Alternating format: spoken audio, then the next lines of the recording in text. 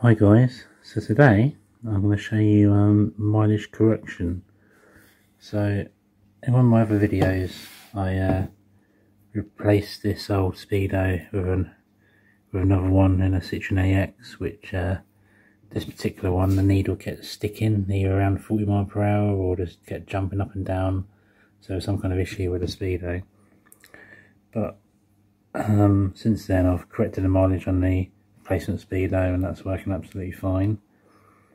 But I thought with the old speedo dial I thought I'd go in a bit more detail of uh, how I actually corrected the mileage. So as you can see here it says 081334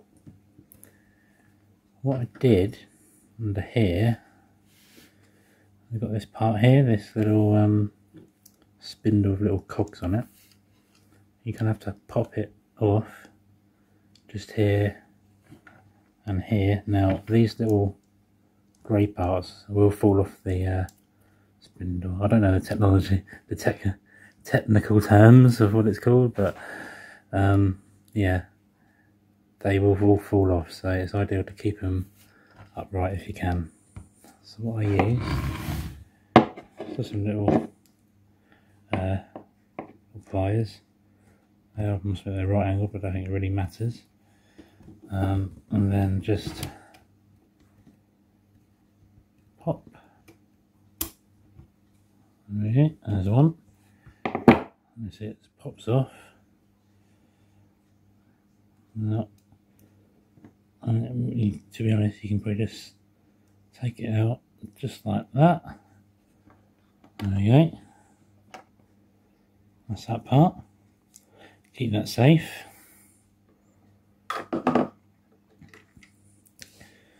then you got your numbers. Now, obviously you should only do this if you have a genuine reason to do mileage correction on a car. So, for my uh, reason was I got a replacement clock and it had the incorrect mileage on it. I think it said something like 59,000 and this car done 81,000. So I had to roll the miles up on the replacement clock. Um, so to change the mileage, we have to uh, spin these numbers around here. Now, what you have to do is do the first one, get to the number you want, do the next one, and so forth. In fact, if you see more this way. Uh,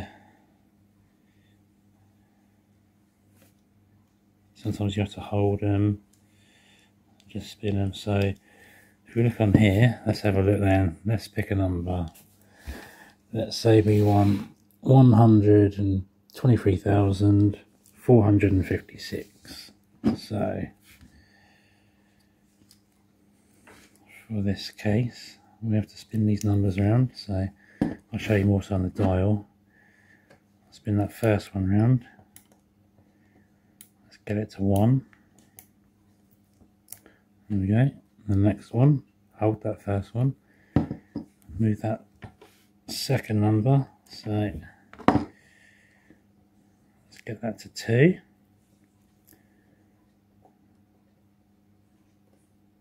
One, two.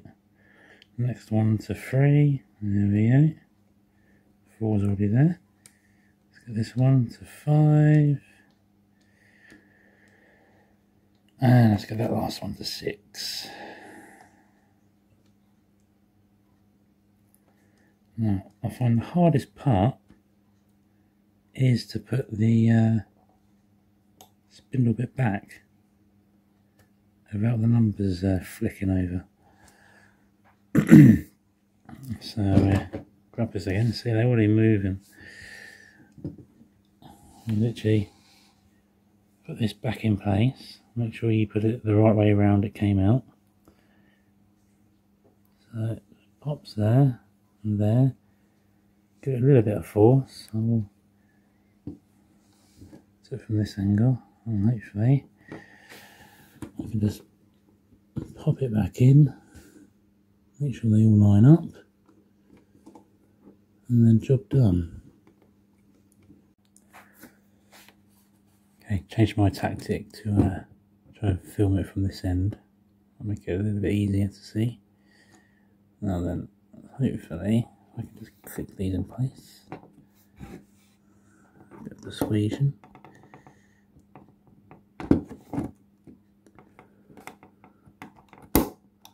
That's it. Unfortunately the miles may have just on them. There you see, this is the problem. You kind of get this issue where they will just flick around a little bit. Luckily, I think can just about adjust it before we can fully click it in place. Spin around. There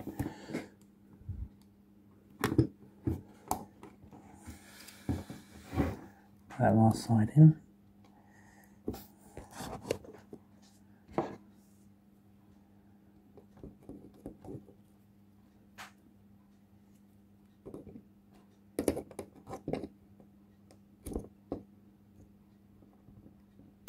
There we go. Uh, see, this what is the problem you might find, which happened to me. The miles, just some of the numbers are just clicked round half a turn.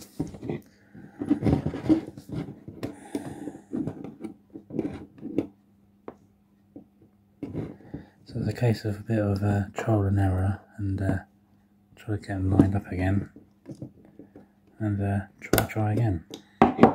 Take it off again then. Let's try to get them correct.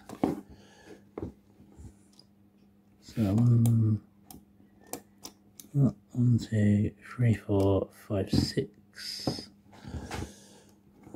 Let's try again.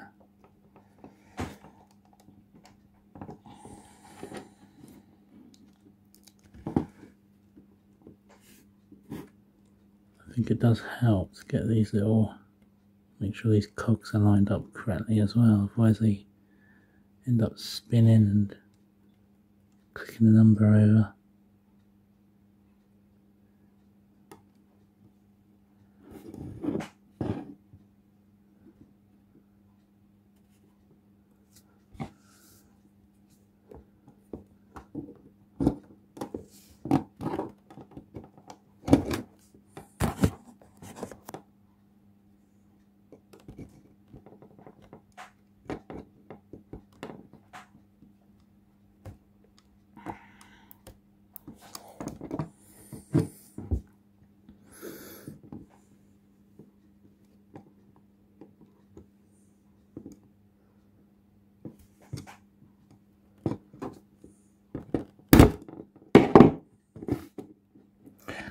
That's better.